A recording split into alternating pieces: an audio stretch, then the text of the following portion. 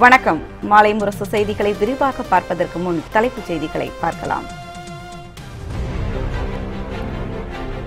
சட்டப்பேரவையில் இன்று நிதித்துறை வீட்டு வசதி நகர்ப்புற வளர்ச்சித்துறை மானிய கோரிக்கை மீதான விவாதம். உறுப்பினர்களின் கேள்விக்கு பதிலளிக்கிறார் துணை முதலமைச்சர் ஓ பன்னீர்செல்வம்.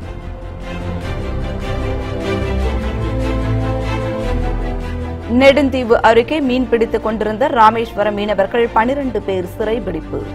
இரண்டு படகுகளையும் பறிமுதல் செய்து தலைமன்னார் முகாமுக்கு அழைத்து சென்றது இலங்கை கடற்படை.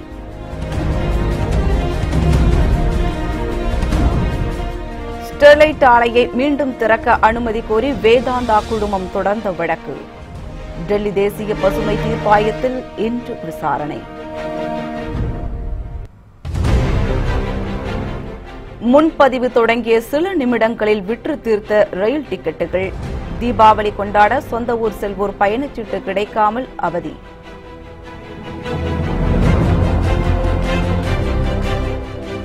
சுனந்தா புஷ்கர் தற்கொலை வழக்கில் முன்ஜாமீன் கேட்டு சசி தரூர் தாக்கல் செய்த மனு.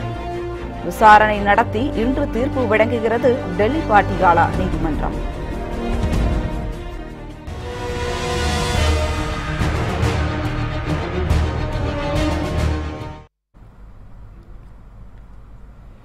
இன்றைய சட்டப்பேரவை கூட்டத்தொடரில் நிதித்துறை வீட்டு வசதி நகர்ப்புற வளர்ச்சித்துறை மானிய கோரிக்கை மீதான விவாதம் நடைபெறுகிறது.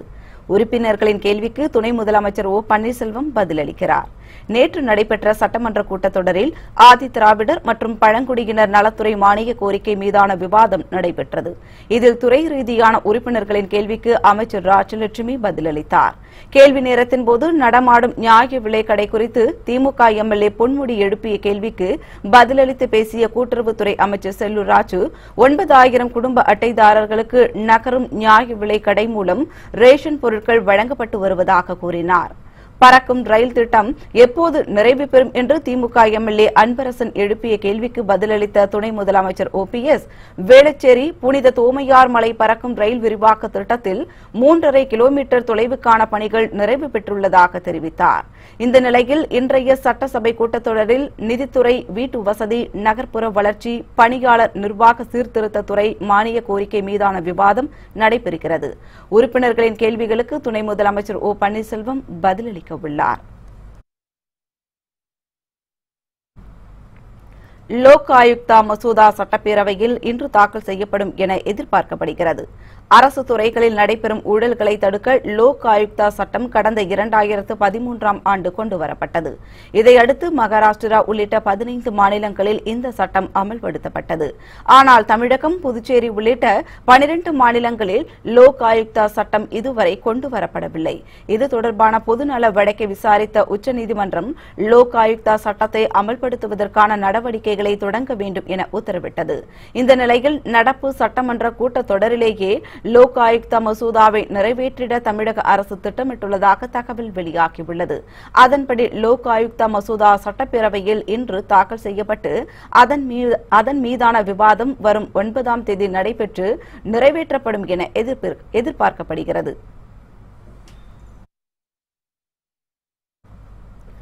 நெடுந்தீவு அருகே மீன் பிடித்துக் கொண்டிருந்த ராமேஸ்வர மீனவர்கள் பனிரண்டு பேரை இலங்கை கடற்படையினர் சிறைபிடித்து சென்றுள்ளனர்.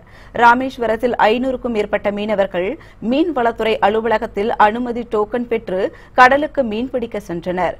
நெடுந்தீவு அருகே மீன் கொண்டிருந்தபோது எல்லை தாண்டி மீன் பிடித்ததாக கூறி பனிரண்டு பேரை இலங்கை கடற்படையினர் கைது செய்தனர். அத்துடன் அவர்கள் சென்ற இரண்டு படகுகளையும் பறிமுதல் செய்து தலைமன்னார் முகாமுக்கு அழைத்து சென்றனர். தமிழக மீனவர்களை கைது செய்வதும் படகுகளை பறிமுதல் செய்வதும் தொடர்கதையாகி வருவதாக தமிழக மீனவ சங்கங்கள் குற்றம் சாட்டின.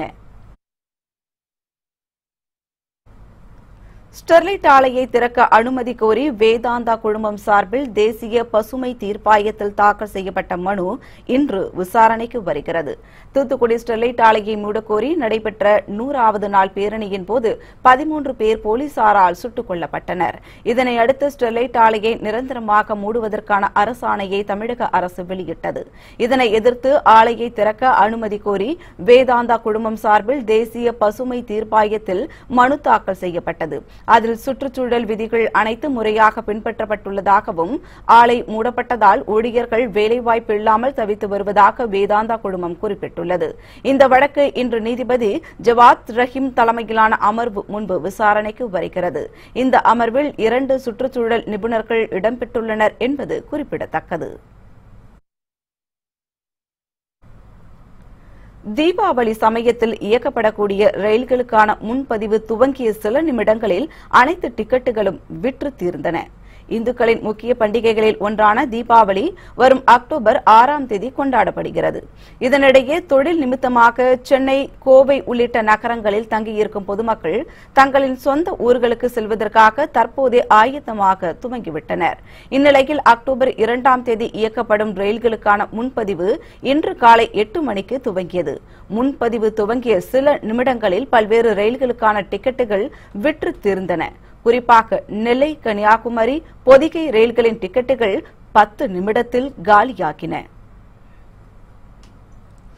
முன்பதிவு ஆரம்பித்து எட்டு மணியில் இருந்து எட்டு மணி இரண்டு நிமிடங்களுக்குள் பாண்டியன் எக்ஸ்பிரஸிலே ஸ்லீப்பர் கிளாஸிலே நோ ரூம் அதாவது வெயிட்டிங் லிஸ்டும் இல்லை என்றதும் தேர்ட் ஏசி நோ ரூம் அதாவது வெயிட்டிங் லிஸ்ட் இல்லை என்றும் அதேபோல் திருநெல்வேலிக்கு செல்லும் நெல்லை எக்ஸ்பிரஸிலே ஸ்லீப்பர் கிளாஸில் நோ ரூம் என்றும் இந்த சென்னை சென்ட்ரலில் இருந்து கிளம்பும் கோயம்புத்தூர் வண்டி அதாவது நீலகிரி எக்ஸ்பிரஸிலே ஸ்லீப்பர் கிளாஸில் வெயிட்டிங் லிஸ்ட் முன்னூற்றி இருபது என்றும் அதேபோல் சேரன் எக்ஸ்பிரஸ் வெயிட்டிங் லிஸ்ட் இல்லை என்ற நோரும் என்ற என்றும் முன்பதிவு இன்றைய தினம் எட்டு இரண்டு மணிக்கெல்லாமே எல்லா சீட்டுகளும் பயணிகளால் பெறப்பட்டுள்ளன.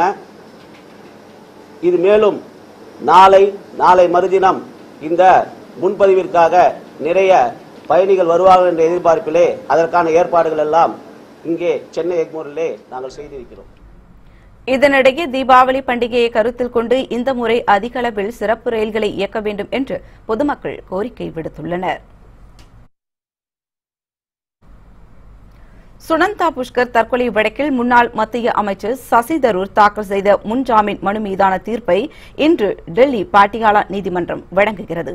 முன்னாள் மத்திய அமைச்சர் சசி தரூரின் மூன்றாவது மனைவி சுனந்தா புஷ்கர் கடந்த இரண்டாயிரத்து பதினான்காம் ஆண்டு டெல்லியில் உள்ள நட்சத்திர ஹோட்டலில் மர்மமான முறையில் இறந்து கிடந்தார். பெரும் பரபரப்பை ஏற்படுத்திய இந்த சம்பவத்தில் சுனந்தா புஷ்கரை தற்கொலைக்கு தூண்டியதாகவும் அவரை கொடுமைப்படுத்தியதாகவும் சசி தரூர் மீது டெல்லி போலீசார் வழக்கு வழக்கு பதிவு செய்தனர். இதனிடையே டெல்லி பாட்டியாலா நீதிமன்றத்தில் சசி தரூர் முன் ஜாமீன் கோரி மனு தாக்கல் செய்தார். இந்த மனு நேற்று விசாரணைக்கு வந்தது. அப்போது சசி தரூருக்கு முன்ஜாமீன் வழங்க சிறப்பு புலனாய்வு குழு சார்பில் எதிர்ப்பு தெரிவிக்கப்பட்டது. இதனையடுத்து மனு மீதான தீர்ப்பு இன்று வழங்கப்படும் என டெல்லி பாட்டியாலா நீதிமன்றம் தெரிவித்துள்ளது. நேபாளத்தில் சிக்கி தவித்த தமிழக யாத்ரீகர்கள் பதினாறு பேர் நேற்றிரவு விமானம் மூலம் சென்னை வந்தடைந்தனர். சீனாவின் கட்டுப்பாட்டில் உள்ள திபெத்திய பகுதியில் கைலாஷ் மானசரோவர் ஏரி அமைந்துள்ளது. இங்கு சென்று வழிபட தமிழ்நாடு கேரளா கர்நாடகா ஆந்திரா தெலுங்கானா மாநிலங்களில் இருந்து ஏராளமானோர் புனித யாத்திரை மேற்கொண்டனர். இந்த நிலையில் திபெத்திய பகுதியிலும் நேபாள நாட்டின் மலைப்பகுதிகளிலும் கடந்த சில நாட்களாக மோசமான வானிலை நிலவி வருகிறது. பலத்த மழை காரணமாக அங்கு நிலச்சரிவு ஏற்பட்டு சாலைகள் துண்டிக்கப்பட்டன. இதனால் தமிழர்கள் உட்பட ஆயிரத்து ஐநூறுக்கும் மேற்பட்ட பக்தர்கள் சொந்த ஊர்களுக்கு திரும்ப முடியாமல் கடந்த இரண்டு நாட்களாக தவித்து வந்தனர். அப்போது தேனி மாவட்டம் ஆண்- ஆண்டிப்பட்டியை சேர்ந்த ராமச்சந்திரன் ஜூலை இரண்டாம் தேதி மூச்சு திணறல் ஏற்பட்டு உயிரிழந்தார். இந்த நிலையில் சிமிகோட் மற்றும் ஹில்சா பகுதிகளில் சிக்கி தவித்த பதினெட்டு தமிழர்கள் உட்பட நானூறு இந்தியர்கள் பத்திரமாக மீட்கப்பட்டு நேற்று உத்தரப்பிரதேச தலைநகர் லக்னோவுக்கு அழைத்து வரப்பட்டனர். இதனையடுத்து மீட்கப்பட்ட தமிழக யாத்ரீகர்கள் பதினாறு பேர் நேற்றிரவு விமானம் மூலம் சென்னை வந்தடைந்தனர். உயிரிழந்த ராமச்சந்திரனின் உடல் இன்று தமிழகம் கொண்டுவரப்படும் என கூறப்படுகிறது. தலைமையில் நாங்கள் கைலாஷ் யாத்ரா தொடங்கினோம். ஆனால் கடவுள் அருளால் நாங்கள் வந்து ஆஸ் பர் ஷெட்யூல் ஒவ்வொரு நாளும் இது பண்ணிவிட்டு எங்கே தங்கணுமோ அந்த மாதிரி ஒரு த தடங்கள் இல்லாமல் நாங்கள் போய் கைலாஷ் யாத்ராவும் முடிச்சிட்டோம். செவ்வாய்க்கிழமை எல்லாரும் கை கைலாஷ் யாத்திரா முடிச்சுட்டு வந்துட்டோம். திரும்பி வந்துட்டோம். ஆனால் அந்த சைனா இமிக்ரேஷன் சென்டர்லேருந்து ஹில்ஸாக்கு வரணும். வந்தது நாள்லேருந்து எங்களுக்கு தடங்கள் தடங்கள் சீதோஷ்ண நிலை தான் சீதோஷ்ண நிலை தடங்கள் இருந்தாலும் இது எல்லாருக்கும் தெரிஞ்சது தான் ஆனால் எங்களுடைய பேட் லக் என்னென்னா நாங்கள் உடுத்தியிருந்த ட்ரெஸ்ஸை தவிர மற்றது எல்லாமே வந்து இன்னொரு பேக்கில் எல்லாருடைய இதுவுமே நேபாள் கஞ்சி வந்தது. ஸோ எங்களால் ஒன்றுமே பண்ண முடியல. சிமிக்கோட்டுக்கு வர்றப்ப என்ன செய்யணும்? சிமிக்கோட் வந்து இறங்கிட்டோம். வந்தோன்னா கொஞ்சம் மழை லைட்டாக மழையும் க்ளவுட்ஸுமா இருந்தது. உடனே டக்குன்னு ஃப்ளைட் சர்வீஸ்லாம் கட்டு அப்படின்ட்டாங்க. சரி அடுத்த நாள் போகலான்னு தங்கியிருந்தோம். இப்படியே வந்து அஞ்சு நாள் வரலையும் எங்களுக்கு ஃப்ளைட் சர்வீஸ் கிடையாதுன்னு மூடிட்டு ஒன்றும் பதில் சொல்லாமல் இருந்தாங்க. எங்களுக்கு ரொம்ப பயமாக போயிடுச்சு. ஏன்னா நான் நானூறு ஐநூறு பேர் வர வர என்ன ஆயிடுச்சுன்னு கேட்டிங்கன்னா சாப்பாடு கஷ்டமாயிட்டு தங்குறது இடம் கஷ்டமாயிட்டு நாங்கள் ஒரே ட்ரெஸ்ஸில் தான் இருந்தோம். ஒரே ட்ரெஸ்ஸில் இருந்து ஒன்றுமே பண்ண முடியல குளிக்க முடியல ஒன்றும் முடியல. ரொம்ப கஷ்டப்பட்டோம். வர வர சாப்பாடு பிஸ்கட்டு கரண்ட் வேறு கட் ஆகிடுது அடிக்கடி. தொடர்பு கொள்ள முடியாமல் இதெல்லாம் இருந்தது. தமிழை கடித்துவிட்டால் இந்தியா கடிந்து போகும். இதை மத்திய அரசு உணர்ந்து கொள்ள வேண்டும் என கவிஞர் வைரமுத்து கூறியுள்ளார். தஞ்சையில் செய்தியாளர்களிடம் பேசிய அவர் இந்தியாவின் இரண்டு கண்கள் என்று தமிழையும் சமஸ்கிருதத்தையும் அறிவியல் அறிஞர்கள் கருதுவதாக தெரிவித்தார். வாழத்தக்க வசிக்கத்தக்க மொழி தமிழென்றும் தமிழை கடித்துவிட்டால் இந்தியா கடிந்து போகும். இதை மத்திய அரசு உணர்ந்து கொள்ள வேண்டும் என வைரமுத்து கூறினார். நாகரிகம் நதிக்கரையில் அழிய தொடங்குவது என்பது ஆபத்தானது என கூறிய அவர் தண்ணீர் என்பதுதான் மூன்றாம் உலகப் போருக்கு காரணமாக இருக்கப் போகிறது என்று குறிப்பிட்டார். இந்தியா என்றால் அது இரண்டு மொழிகளின் கலாச்சாரத்தால் ஆனது என்பது ஆய்வியல் அறிஞர்களின் துணிந்த முடிவு. ஒன்று தெற்கே தமிழ் வடக்கே சமஸ்கிருதம். மூத்த அறிஞர்கள் இந்தியாவின் இரண்டு கண்கள் என்று தமிழையும் சமஸ்கிருதத்தையும் சொல்லுகிறார்கள். இரண்டு மொழிகளில் வாழத்தக்க மொழி வசிக்கத்தக்க மொழி தமிழ். தமிழை கழித்து விட்டால் இந்தியா கழிந்து போகும் என்பதை அவர்கள் உணர வேண்டும். தண்ணீர் என்பதுதான் மூன்றாம் உலகப் போருக்கு மூல காரணமாக திகழக்கூடும் என்று ஒரு கூற்று உண்டு. அந்த கூற்று இந்தியாவில் தொடங்கிவிடக் கூடாது என்று நான் கவலைப்படுகிறேன். இரட்டை இலை தொடர்பான வழக்கு இன்று மீண்டும் டெல்லி உயர்நீதிமன்றத்தில் விசாரணைக்கு வருகிறது. நீண்ட இழுபறிக்கு பிறகு இரட்டை இலை சின்னத்தையும் அதிமுக கட்சியையும் இபிஎஸ் ஓபிஎஸ் தரப்புக்கு ஒதுக்கீடு செய்து தேர்தல் ஆணையம் உத்தரவிட்டது. இதனை எதிர்த்து சசிகலா டிடிவி தினகரன் தரப்பில் டெல்லி உயர்நீதிமன்றத்தில் வழக்கு தொடுக்கப்பட்டுள்ளது. இந்த வழக்கு நேற்றைய தினம் நீதிபதிகள் ஜி எஸ் சிஸ்தானி சங்கீதா திங்கரா கேசல் ஆகியோர் அடங்கிய அமர்வின் முன்பு மீண்டும் விசாரணைக்கு வந்தது. அப்போது அதிமுகவில் டிடிவி தினகரன் அடிப்படை உறுப்பினரே இல்லை என்றும் அவசர அவசரமாக அவருக்கு கட்சியின் விதிமுறைகளை மீறி பதவி வழங்கப்பட்டதாகவும் இபிஎஸ் ஓபிஎஸ் தரப்பில் வாதிட்டனர். இந்நிலையில் இரட்டை இலை தொடர்பான வழக்கு இன்று மீண்டும் விசாரணைக்கு வருகிறது. உயர்கல்வி நிறுவனங்கள் ஆராய்ச்சி உட்கட்டமைப்பு வசதிகளை மேம்படுத்த ஒரு லட்சம் கோடி ரூபாய் நிதி திரட்டிக்கொள்ள மத்திய அமைச்சரவை ஒப்புதல் அளித்துள்ளது. மத்திய அமைச்சரவை கூட்டம் பிரதமர் நரேந்திர மோடி தலைமையில் டெல்லியில் நடைபெற்றது. இந்த கூட்டத்தில் உயர்கல்வி நிதி நிறுவனத்தின் அங்கீகரிக்கப்பட்ட பங்கு மூலதனத்தை பத்தாயிரம் கோடி ரூபாய் அளவுக்கு உயர்த்துவதற்கு ஒப்புதல் அளித்துள்ளது.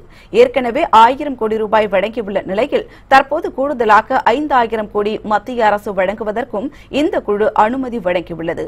இதனால் தொழில் கல்வி நிறுவனங்கள் நிதி பெற வழி கிடைத்துள்ளது. மேலும் உயர்கல்வி நிறுவனங்கள் ஆராய்ச்சி மற்றும் உட்கட்டமைப்பு வசதிகளை மேம்படுத்த இன்னும் நான்கு ஆண்டுகளுக்குள் ஒரு லட்சம் கோடி ரூபாய் நிதி திரட்டிக் கொள்ளவும் மத்திய அமைச்சரவை ஒப்புதல் வழங்கியுள்ளது. காஷ்மீரில் நிலவும் சட்டம் ஒழுங்கு குறித்து அம்மாநில ஆளுநர் என். என். ஓராவுடன் மத்திய உள்துறை அமைச்சர் ராஜ்நாத் சிங் ஆலோசனை நடத்தினார். காஷ்மீரில் முதலமைச்சர் மெஹபூபா முக்திக்கு அளித்து வந்த ஆதரவை பாஜக வாபஸ் பெற்றதால் குடியரசுத் தலைவர் ஆட்சி அமல்படுத்தப்பட்டுள்ளது. இந்நிலையில் ஸ்ரீநகருக்கு சென்ற மத்திய உள்துறை அமைச்சர் ராஜ்நாத் சிங் அங்கு ஆளுநர் என். என். ஓராவை சந்தித்து பேசினார். அப்போது காஷ்மீரில் நிலவும் சட்ட ஒழுங்கு மற்றும் அமர்நாத் யாத்திரை வரும் பக்தர்களுக்கு வழங்கப்படும் பாதுகாப்பு குறித்து ஆலோசனை நடத்தினார். குடியரசுத் தலைவர் ஆட்சி அமலில் இருக்கும் சமயத்தில் ஆளுநரை மத்திய உள்துறை அமைச்சர் சந்தித்து பேசியிருப்பது முக்கியத்துவம் வாய்ந்ததாக கருதப்படுகிறது. இரண்டாயிரத்து பதினெட்டாம் ஆண்டு வரையிலான வரவு செலவு கணக்குகளுக்கு ஒப்புதல் அளிக்க சென்னையில் நடைபெற்ற காமன்வெல்த் பாராளுமன்ற சங்க தமிழ்நாடு கிளையின் சிறப்பு பொதுக்கூட்டத்தில் முடிவு செய்யப்பட்டது. சென்னை சேப்பாக்கத்தில் உள்ள சட்டமன்ற முன்னாள் உறுப்பினர் விடுதியில் காமன்வெல்த் நாடாளுமன்ற சங்க தமிழ்நாடு கிளையின் சிறப்பு பொதுக்கூட்டம் நடைபெற்றது. சபாநாயகர் தனபால் தலைமையில் நடைபெற்ற இந்த கூட்டத்தில் முதலமைச்சர் எடப்பாடி பழனிசாமி துணை முதலமைச்சர் ஓ பன்னீர்செல்வம் அமைச்சர்கள் சட்டமன்ற உறுப்பினர்கள் மற்றும் அதிமுக நிர்வாகிகள் உள்ளிட்டோர் கலந்து கொண்டனர். இரண்டாயிரத்து பதினெட்டாம் ஆண்டு வரையிலான வரவு செலவு கணக்குகளுக்கு ஒப்புதல் அளித்தல் பதினெட்டு செயற்குழு உறுப்பினர்களை தேர்ந்தெடுத்தல் பொருளாளரை நியமனம் செய்தல் இந்தியன் ஓவர்சீஸ் வங்கியில் புதிய வங்கிக் கணக்கு தொடங்கியதற்கு பின்னிருப்பு செய்தல் உள்ளிட்டவை குறித்து இந்த கூட்டத்தில் முக்கிய முடிவு எடுக்கப்பட்டது. மையத்தில் இயக்கப்படக்கூடிய ரயில்களுக்கான முன்பதிவு துவங்கிய சில நிமிடங்களில் அனைத்து விக்கெட்டுகளும் விற்று தீர்ந்தன. இந்துக்களின் முக்கிய பண்டிகைகளில் ஒன்றான தீபாவளி வரும் நவம்பர் ஆறாம் தேதி கொண்டாடப்படுகிறது. இதனையடுத்து தொழில் நிமித்தமாக சென்னை கோவை உள்ளிட்ட நகரங்களில் தங்கியிருக்கும் பொதுமக்கள் தங்களின் சொந்த ஊர்களுக்கு திரும்ப திட்டமிட்டுள்ளனர். இந்நிலையில் நவம்பர் இரண்டாம் தேதி இயக்கப்படும் ரயில்களுக்கான முன்பதிவு இன்று காலை எட்டு மணிக்கு துவங்கியது. முன்பதிவு துவங்கிய சில நிமிடங்களில் பல்வேறு ரயில்களுக்கான டிக்கெட்டுகள் விற்று தீர்ந்தன. குறிப்பாக நெல்லை கன்னியாகுமரி பொதிகை ரயில்களின் டிக்கெட்டுகள் பத்து நிமிடத்திலேயே காலியாக்கின முன்பதிவு ஆரம்பித்து எட்டு மணியில் இருந்து எட்டு மணி இரண்டு நிமிடங்களுக்குள் பாண்டியன் எக்ஸ்பிரஸிலே ஸ்லீப்பர் கிளாஸிலே நோ ரூம் அதாவது வெயிட்டிங் லிஸ்டும் இல்லை என்றதும் தேர்ட் ஏசி நோ ரூம் அதாவது வெயிட்டிங் லிஸ்ட் இல்லை என்றும் அதேபோல் திருநெல்வேலிக்கு செல்லும் நெல்லை எக்ஸ்பிரஸிலே ஸ்லீப்பர் கிளாஸில் நோ ரூம் என்றும். இந்த சென்னை சென்ட்ரலில் இருந்து கிளம்பும் கோயம்புத்தூர் வண்டி அதாவது நீலகிரி எக்ஸ்பிரஸிலே ஸ்லீப்பர் கிளாஸில் வெயிட்டிங் லிஸ்ட் முன்னூற்றி இருபது என்றும். அதேபோல் சேரன் எக்ஸ்பிரஸ் வெயிட்டிங் லிஸ்ட் இல்லை என்ற நோ ரூம் என்ற என்றும். முன்பதிவு இன்றைய தினம் எட்டு இரண்டு மணிக்கெல்லாமே எல்லா சீட்டுகளும் பயணிகளால் பெறப்பட்டுள்ளன. இது மேலும் நாளை நாளை மறுதினம் இந்த முன்பதிவிற்காக நிறைய பயணிகள் வருவார்கள் என்ற எதிர்பார்ப்பிலே அதற்கான ஏற்பாடுகள் எல்லாம் இங்கே சென்னை எக்மூரிலே நாங்கள் செய்திருக்கிறோம். இதனிடையே தீபாவளி பண்டிகையை கருத்தில் கொண்டு இந்த முறை அதிக அளவில் சிறப்பு ரயில்களை இயக்க வேண்டும் என்று பொதுமக்கள் கோரிக்கை விடுத்துள்ளனர். ஐம்பத்து மூன்று குற்ற வழக்குகளில் தொடர்புடைய ரவுடி சூர்யாவை சென்னை போலீசார் வலைவீசி தேடி வருகின்றனர். தாம்பரம் அடுத்த நெடுங்குன்றத்தை சேர்ந்த பிரபல ரவுடி சூர்யாவின் மீது கொலை கொள்ளை உள்ளிட்ட ஐம்பத்து மூன்று குற்ற வழக்குகள் நிலுவையில் உள்ளன. இந்நிலையில் அப்பகுதி மக்களை சூர்யா மிரட்டி வந்ததாக சேலையூர் காவல் உதவி ஆணையர் கிருஷ்ணமூர்த்திக்கு புகார் வந்துள்ளது. இதனையடுத்து சூர்யாவை பிடிக்க சென்றபோது அவனது கூட்டாளிகளான ஆறு ரவுடிகள் மட்டும் சிக்கினர். கைது செய்யப்பட்டு அனைவரும் நீதிமன்றத்தில் ஆஜர்படுத்தப்பட்டு தற்போது சென்னை புழல் சிறையில் அடைக்கப்பட்டுள்ளனர். இதனிடையே தப்பி ஓடிய சூர்யாவை தேடும் பணியில் போலீசார் தீவிரமாக ஈடுபட்டுள்ளனர். மடிப்பாக்கம் அருகே சினிமா பைனான்சியர் சீனி சரவணனை ஆறு பேர் கொண்ட மர்ம கும்பல் சரமாரியாக வெட்டிவிட்டு தப்பிச் சென்றுள்ளது. காஞ்சிபுரம் மாவட்டம் ஆதம்பாக்கம் அடுத்துள்ள தில்லைகங்கா பகுதியைச் சேர்ந்தவர் சீனி சரவணன். சினிமா பைனான்சியரான இவர் மடிப்பாக்கம் அருகே இருசக்கர வாகனத்தில் வந்து கொண்டிருந்தார். அப்போது ஆட்டோவில் வந்த ஆறு பேர் கொண்ட மர்ம கும்பல் சீனி சரவணனை சரமாரியாக வெட்டிவிட்டு தப்பிச் சென்றது. தகவல் அறிந்து வந்த போலீசார் சீனி சரவணனை மீட்டு மருத்துவமனையில் அனுமதித்தனர். அத்துடன் கொலை முயற்சி சம்பவம் குறித்து வழக்கு பதிவு செய்து விசாரணை மேற்கொண்டு வருகின்றனர். போடி அருகே ஆட்டோ கவிழ்ந்து விபத்துக்குள்ளானதில் பதினேழு பேர் படுகாயமடைந்தனர். தேனி மாவட்டம் போடி அருகே உள்ள துரைராஜபுரம் பகுதியைச் சேர்ந்த பதினேழு பேர் வேலை முடிந்து ஆட்டோவில் ஏறி வீடு திரும்பிக் கொண்டிருந்தனர். இந்நிலையில் போடி அருகே முந்தல் பகுதியில் சென்று கொண்டிருந்த ஆட்டோ திடீரென சாலையில் கவிழ்ந்து விபத்துக்குள்ளானது. இதில் ஆட்டோ ஓட்டுநர் பெண்கள் உள்ளிட்ட பதினேழு பேர் படுகாயமடைந்தனர். காயமடைந்தவர்களை அருகில் இருந்தவர்கள் மீட்டு அரசு மருத்துவமனைக்கு அனுப்பி வைத்தனர். விபத்து குறித்து விசாரணை மேற்கொண்ட போலீசார் அதிக அளவில் ஆட்டோக்களை ஏற்றி வந்ததே விபத்துக்கு காரணம் என தெரிவித்தனர்.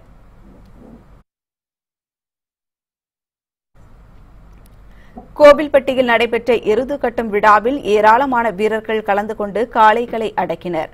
தூத்துக்குடி மாவட்டம் விளாத்தி குளத்தை அடுத்த பல்லாக்குளத்தில் எருது கட்டும் திருவிழா நடைபெற்றது. வடக்கு செல்லியம்மன் கோவில் திருவிழாவை முன்னிட்டு நடைபெற்ற இந்த போட்டியில் இருபத்தோரு மாடுகள் களம் இறக்கப்பட்டன. அதனை அடக்கும் விதமாக இருநூறு வீரர்கள் போட்டியில் கலந்து கொண்டனர்.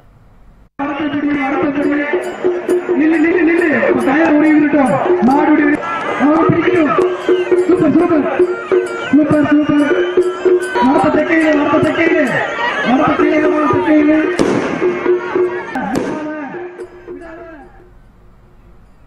இந்த போட்டியினை காண விளாத்திக்குளம் மற்றும் சுற்றுவட்டார பகுதிகளில் இருந்து ஏராளமான பொதுமக்கள் கலந்து கொண்டனர்.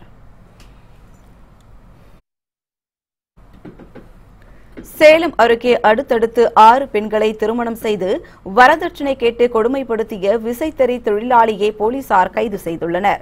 சேலம் மாவட்டம் இளம்பிள்ளை அருகே உள்ள புது ரெட்டியூரை சேர்ந்தவர் கிருஷ்ணவேணி. கணவனை இழந்த இவர் தாய் வீட்டில் வசித்து வந்தார். இந்நிலையில் அதே பகுதியை சேர்ந்த பூபதி என்பவருக்கும் கிருஷ்ணவேணிக்கும் திருமணம் நடந்துள்ளது. திருமணம் ஆன சில மாதங்களிலேயே பத்து சவரன் நகை மற்றும் அறுபது ஆயிரம் ரூபாய் ரொக்கம் வரதட்சணையாக கேட்டு பூபதி கொடுமைப்படுத்தியுள்ளார். அக்கம் பக்கத்தில் விசாரித்ததில் இதற்கு முன் பூபதி இதேபோன்று ஐந்து பெண்களை திருமணம் செய்து கொடுமைப்படுத்தியது தெரியவந்தது. கிருஷ்ணவேணி கொடுத்த புகாரின் பேரில் பூபதியை போலீசார் கைது செய்தனர். மேலும் தலைமறைவான மாமனார் மாமியாரை தேடி காலத்தில் உள்ள கடைகளில் ஆய்வு மேற்கொண்ட அதிகாரிகள் காலாவதியான பொருட்களை பறிமுதல் செய்தனர். தென்காசியை அடுத்துள்ள குற்றாலத்தில் சீசனை அனுபவிக்க பல்வேறு பகுதிகளில் இருந்து ஏராளமான சுற்றுலா பயணிகள் குவிந்து வருகின்றனர். இதனால் குற்றாலத்தில் தேநீர் கடைகள் உணவு விடுதிகள் என நிரந்தர கடை கடைகளும் ஏராளமான தற்காலிக கடைகளும் அமைக்கப்பட்டுள்ளன. மேலும் குற்றாலத்தில் நீர் மாசுபடுவதை தடுக்கும் வகையில் சோப்பு எண்ணெய் போட்டு குளிப்பதற்கும் அதனை விற்பதற்கும் தடை விதிக்கப்பட்டுள்ளது. இந்நிலையில் அங்குள்ள கடைகளில் அதிகாரிகள் திடீர் ஆய்வு மேற்கொண்டனர். இவற்றில் தடை செய்யப்பட்ட மற்றும் காலாவதியான பொருட்களை அதிகாரிகள் பறிமுதல் செய்து அவற்றை விற்பனை செய்த கடைகளுக்கு அபராதம் விதித்தனா் தாம்பரம் அருகே பெண் தொழிலதிபரிடம் கந்துவட்டி கேட்டு மிரட்டிய நபரை போலீசார் கைது செய்தனர். காஞ்சிபுரம் மாவட்டம் தாம்பரம் அடுத்த சேலையூரை சேர்ந்தவர் Vijayalakshmi. Petrol bunk fancy store ஆகியவற்றை நடத்தி வருகிறார். இந்நிலையில் ஃபேன்சி ஸ்டோரை விரிவுபடுத்துவதற்காக இரண்டாயிரத்து பதினாறாம் ஆண்டு பிரபு என்பவரிடம் நிலப்பத்திரத்தை அடமானம் வைத்து அறுபத்தெட்டு லட்சம் ரூபாய் கடனாக பெற்றுள்ளார். இதற்கென வட்டியும் முதலுமாக ஒரு கோடியே ஏழு லட்சம் ரூபாய் செலுத்தியுள்ளார். ஆனால் மேலும் சில லட்சங்கள் வட்டியாக தர வேண்டும் என்று பிரபு அடிக்கடி மிரட்டல் விடுத்துள்ளார். இது தொடர்பாக விஜயலட்சுமி அளித்த புகாரின் பேரில் பிரபுவை கைது செய்த போலீசார் நீதிமன்றத்தில் ஆஜர்படுத்தி புழல் சிறையில் அடைத்தனர். ஆர்கே நகரில் மர்ம நபர்கள் சரமாரியாக வெட்டியதில் ரவுடி குமரன் ஆபத்தான நிலையில் மருத்துவமனையில் அனுமதிக்கப்பட்டுள்ளார். சென்னை தண்டையார்பேட்டையில் உள்ள சிவாஜி நகரை சேர்ந்தவர் குமரன். இவர் மீது அடிதடி கொலை முயற்சி உள்ளிட்ட பல்வேறு வழக்குகள் நிலுவையில் உள்ளன. இந்நிலையில் சிவாஜி நகர் ரயில்வே தண்டவாளம் அருகே குமாரனை வெடிமறித்த மர்ம கும்பல் சரமாரியாக வெட்டிவிட்டு தப்பிச் சென்றது. தகவல் அறிந்து வந்த போலீசார் உயிருக்கு போராடி கொண்டிருந்த குமரனை மீட்டு ஸ்டான்லி அரசு மருத்துவமனைக்கு அனுப்பி வைத்தனர். இது தொடர்பாக ஆர்கே நகர் போலீசார் மர்ம நபர்களை தேடி வருகின்றனர். தேவக்கோட்டை அருகே தவறான சிகிச்சையால் ஒருவர் உயிரிழந்ததாக அவரது உறவினர்கள் மருத்துவமனையை முற்றுகையிட்டதால் பரபரப்பு நிலவியது. சிவகங்கை மாவட்டம் காவணவயலை சேர்ந்தவர் வேட்டையடக்கு இவர் கால் நரம்பு பிரச்சினை காரணமாக தனியார் மருத்துவமனையில் அனுமதிக்கப்பட்டுள்ளார். அவருக்கு அறுவை சிகிச்சை மேற்கொள்ள இருந்த நிலையில் நேற்று திடீரென உயிரிழந்துள்ளார். இதனால் மனமுடைந்த அவரது உறவினர்கள் மருத்துவர்களின் தவறான சிகிச்சையால் தான் வேட்டையடக்கு உயிரிழந்ததாக மருத்துவமனையை முற்றுகையிட்டனர். முன்னூறுக்கும் மேற்பட்டோர் மருத்துவமனையை முற்றுகையிட்டதால் அப்பகுதியில் சலசலப்பு நிலவியது. சம்பவ இடத்திற்கு வந்த காவல்துறையினர் வேட்டையடக்கின் உடலை மீட்டு அரசு மருத்துவமனைக்கு அனுப்பி வைத்து விசாரணை மேற்கொண்டுள்ளனர். ரயில்வேயின் பல்வேறு துறைகளை தனியாரிடம் ஒப்படைப்பதை கண்டித்து போராட்டம் நடத்தப்போவதாக சதன் ரயில்வே மசூர் யூனியன் சங்கம் முடிவு செய்துள்ளது. எஸ்ஐஎம்யூ எனப்படும் சதன் ரயில்வே மசூர் யூனியனின் சென்னை கோட்டம் சார்பாக அவசர செயற்குழு கூட்டம் அதன் பொதுச் செயலாளர் கண்ணையா தலைமையில் தாம்பரம் ரயில்வே மண்டபத்தில் நடைபெற்றது. அப்போது பேசிய கண்ணையா நாடு முழுவதும் ரயில்வே ஒர்க் ஷாப் சிக்னல் உள்ளிட்ட லாபம் தரும் ரயில்வேயின் பல்வேறு துறைகளை தனியாருக்கு ஒப்பந்தம் செய்வதை கடுமையாக எதிர்ப்பதாக கூறினார் கூறினார். ஏழாவது ஊதிய உயர்வு உள்ளிட்ட பல்வேறு கோரிக்கைகளை வலியுறுத்தி வருகிற மே மாதம் நாடு தழுவிய அளவில் போராட்டம் நடத்தப்படும் என்றும் கண்ணையா பேசினார். மயிலாடுதுறையில் செல்போன் கடைக்குள் புகுந்து கட்ட பஞ்சாயத்து நடத்திய கும்பல் அங்கிருந்த செல்போன்களை அள்ளிச் சென்ற சம்பவம் வீடியோ காட்சிகளாக வெளிவந்து பரபரப்பை ஏற்படுத்தியுள்ளது. நாகை மாவட்டம் மயிலாடுதுறையில் உள்ள மகாதானந்தா தெருவில் மாலிக் என்பவர் செல்போன் கடை நடத்தி வருகிறார். இந்த கடை தொடர்பாக இவருக்கும் மற்றொருவருக்கும் இடையே பிரச்சனை இருந்து வருகிறது. இந்த நிலையில் செல்போன் கடைக்குள் நுழைந்த கட்ட பஞ்சாயத்து கும்பல் கடையில் இருந்த வாடிக்கையாளர்களையும் ஊழியர்களையும் மிரட்டியுள்ளது. மேலும் அங்கிருந்த எட்டு லட்சம் ரூபாய் மதிப்புள்ள செல்போன்களையும் அள்ளிச் சென்றது. செல்போன் கடையிலிருந்து சிசிடிவி கேமராவில் பதிவான இந்த காட்சி தற்போது வெளியாகி பரபரப்பை ஏற்படுத்தியுள்ளது.